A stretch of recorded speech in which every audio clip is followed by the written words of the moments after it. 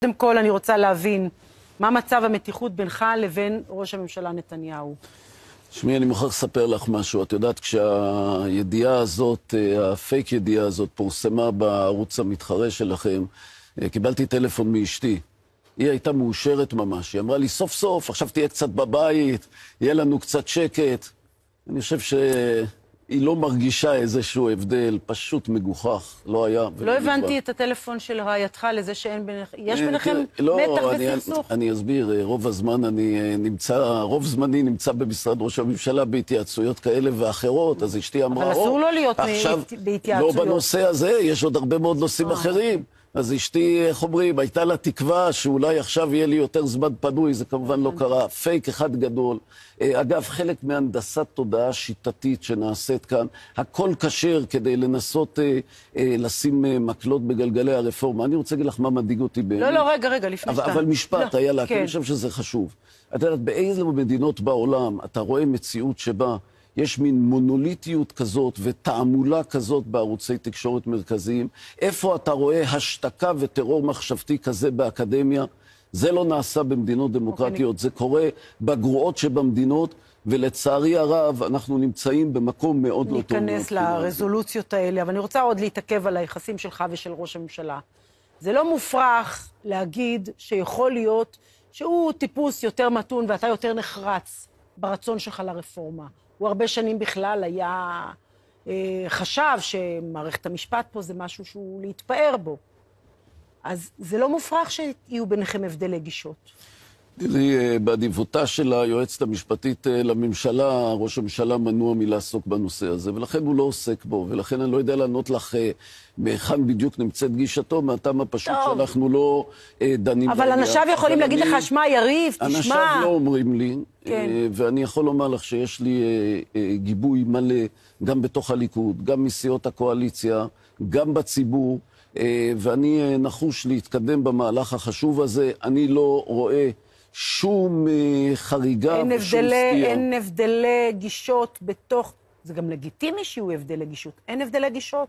בתוך הליכוד אין הבדלי גישות? תראי, אה, ביחס לפרטי התוכנית, כל תוכנית שלא נביא, תמיד כל אחד יסתכל עליה מזווית אחרת ותהיה לו הערה כזו או אחרת, וזה כמובן לגיטימי, בדיוק בשביל זה אגב מתקיימים הדיונים בכנסת, ולכן כמו שאמרתי מתחילת הדרך, מה שהסתיים בכנסת הוא לא בדיוק אחד לאחד מה שהצעתי, אבל ההסכמה היא הסכמה כללית, מוחלטת, אבל טוענים אה, שרוטמן. בכנסת, שחבר הכנסת רוטמן לא מאפשר לאף אחד להכניס שם אה, שינויונצ'יק אפילו. את יודעת, אה, זאת אה, עוד פעם טענה שהיא פייק אחד גדול. תסתכלי מה קרה בוועדת החוקה, חוק ומשפט.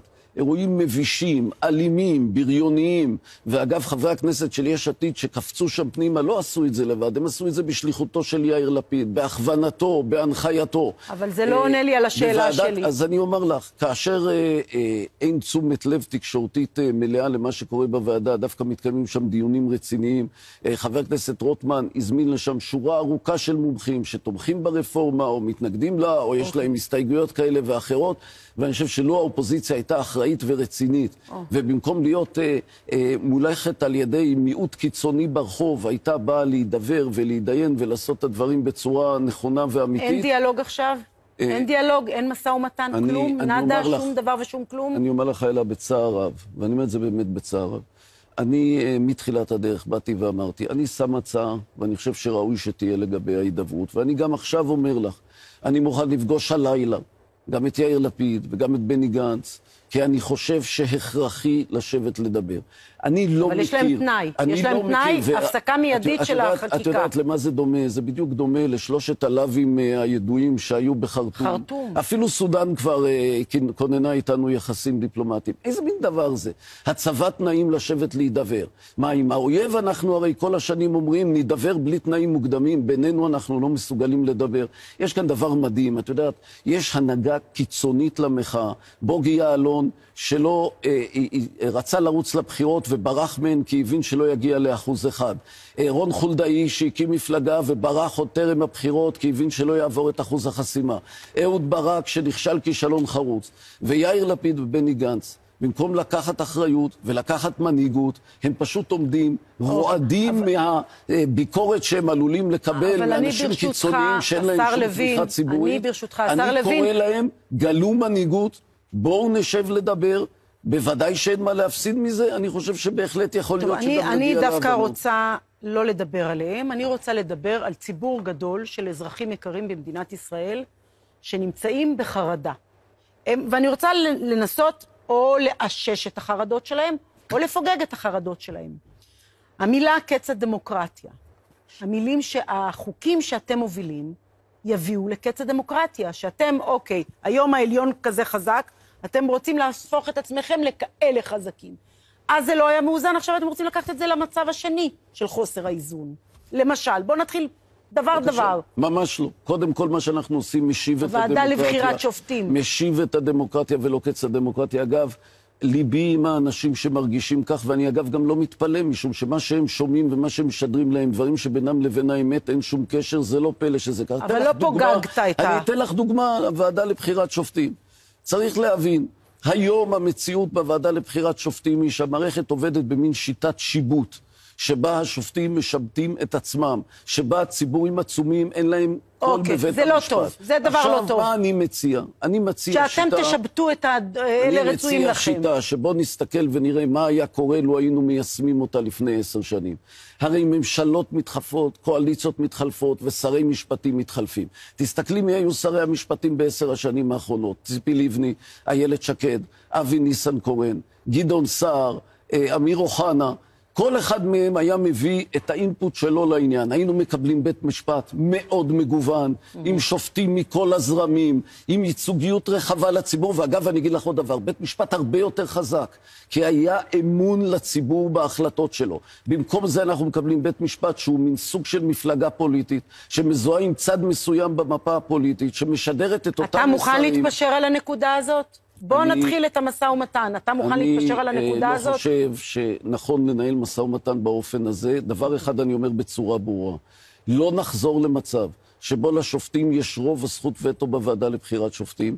לא נחזור למצב שבו ציבורים שלמים מודרים מהוועדה, על איך בדיוק צריכה להיות בנויה הוועדה ואיך עושים את זה. אוקיי. אז יש מקום יש לדבר. כל מיני דרכים, יפה. אפשר אז לדבר. מה אתה אומר אבל לאלה אני מדגיש, איילה, בעניין הזה שלא תהיינה אי-הבנות. השורה התחתונה היא ברורה. יש שינוי? מה שהיה לא יהיה.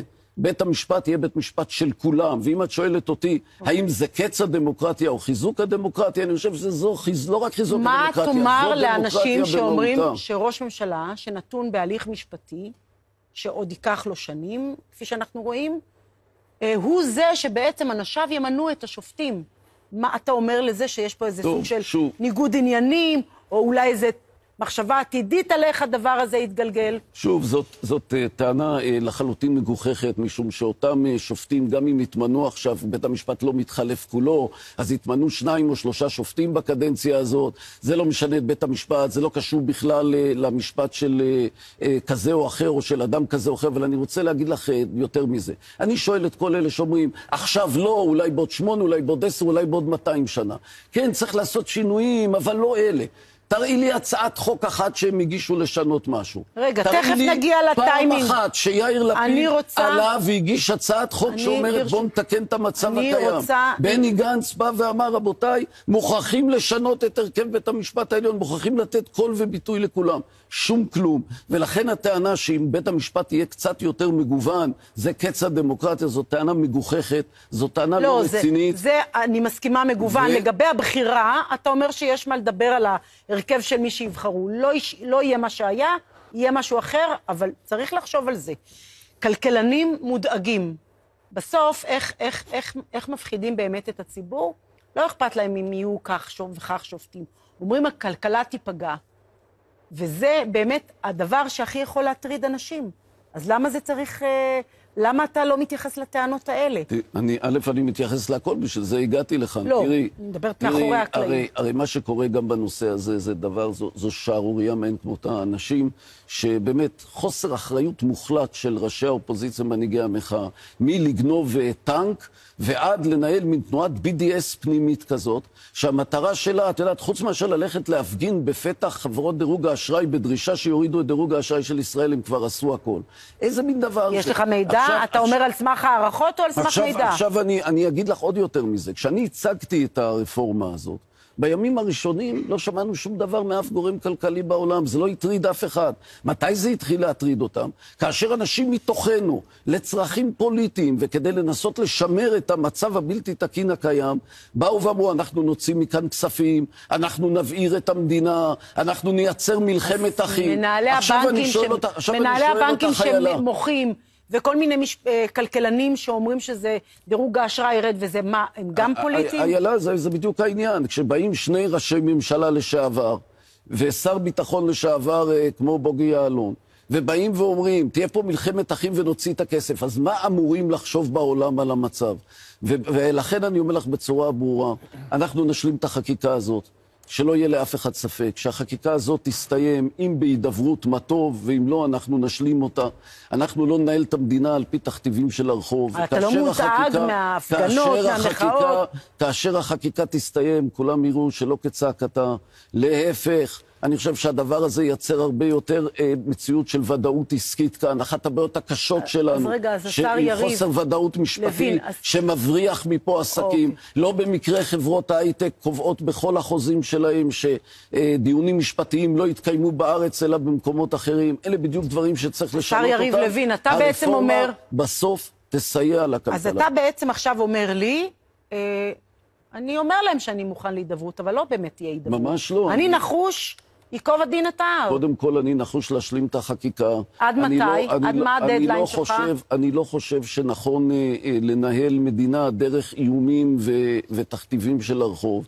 אני חושב שאפשר להשלים את החקיקה הזו בהידברות. בהידברות כזו, מטבע הדברים, מגיעים להבנות, ואפשר להגיע להבנות. אני חושב שחייבים לפחות לנסות, אבל שלא יהיה ספק בדבר אחד, הידברות אמיתית כן, הידברות שכל תכליתה, כפי שהציעו יאיר לפיד ובני גנץ, רק לדחות את העניין כדי למסמס אותו, כמו שעשו בשעתו לפרופסור פרידמן, זה לא יקרה, טוב. זה לא המנדט שקיבלתי מהציבור.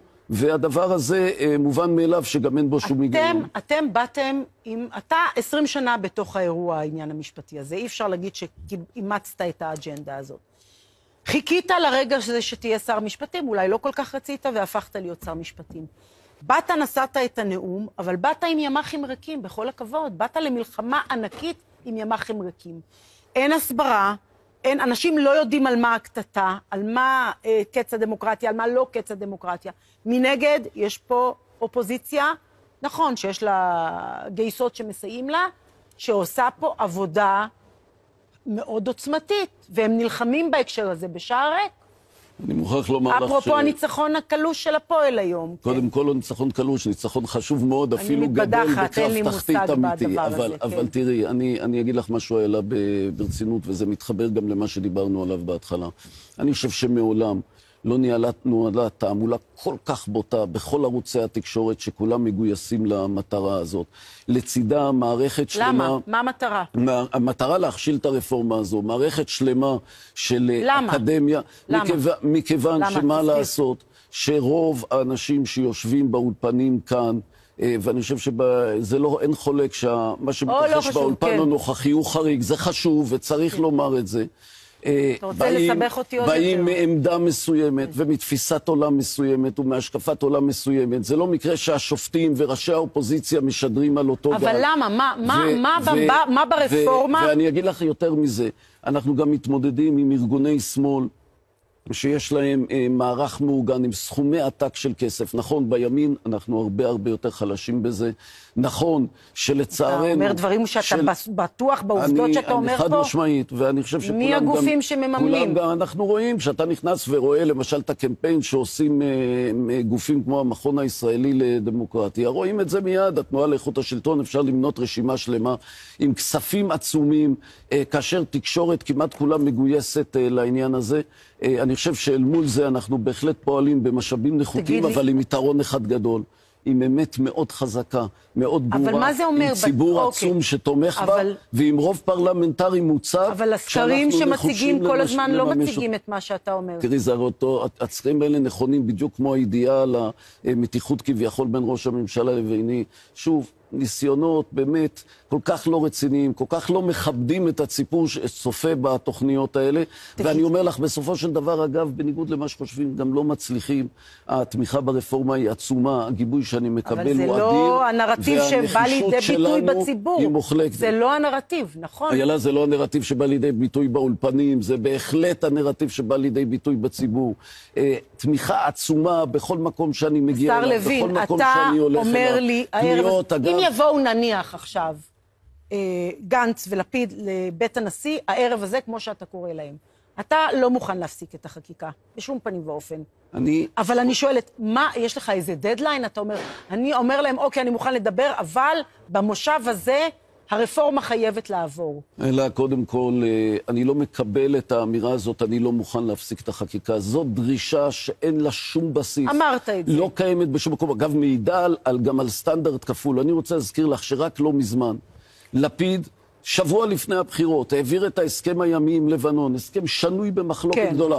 לא הסכים אפילו להביא אותו לדיון בכנסת, ולא לשום הצבעה. ולשאלה ששאלתי אותך. אנחנו דנים ברפורמה הזו בכנסת כבר למעלה מחודש. מוכנים להמשיך לדון בה, מוכנים להידבר בצידה. אתה חייב מעולם, לסיים את זה בקד... מעולם, בקדנציה הזו של ה... דקה, אני אענה, אני רק כן, לא, הזמן, אני כבר מסתכלת על השעון כל הזמן. לא היה, לא היה מין תנאי כזה שאומר, הכנסת בכלל לא מעניינת אותנו, הליך החקיקה בכנסת הוא מין חותמת גומי, כדי להידבר צריך לעצור. זה לא קרה אף פעם, אין לזה שום הצדקה.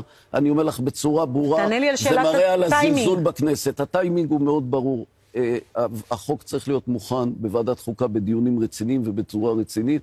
אני מעריך שבלוחות הזמנים הקיימים יעלה בידינו בהחלט להשלים עד תום המושב לפחות חלק מהחקיקה. שכמה זמן זה חלק אה, מהחקיקה? שזה בסדר גודל של כחודש וחצי מהיום. עכשיו אני שואלת אני אותך, חושב שזה איפה הדברים שנוגעים סביר. לאזרחים? דברים שאני מטפלת בהם באולפנים האלה כל הזמן, דברים שנוגעים לפגסוס שמשתילים לאזרחים. איפה אתם בכל הסיפורים האלה? למשפטים הבלתי נמשכים, לחקירות הבלתי פוסקות של אנשים, של שנים על גבי שנים. איפה, אנשים לא אכפת להם פסקת ההתגברות וכל הנושא הזה. אכפת להם על דברים שנוגעים לחיים שלהם. קודם כל, אני חושב שלאנשים מאוד מאוד אכפת, אגב, משני הצדדים. ושנית, אני אומר לך את האמת, כל הדברים האלה מחייבים טיפול.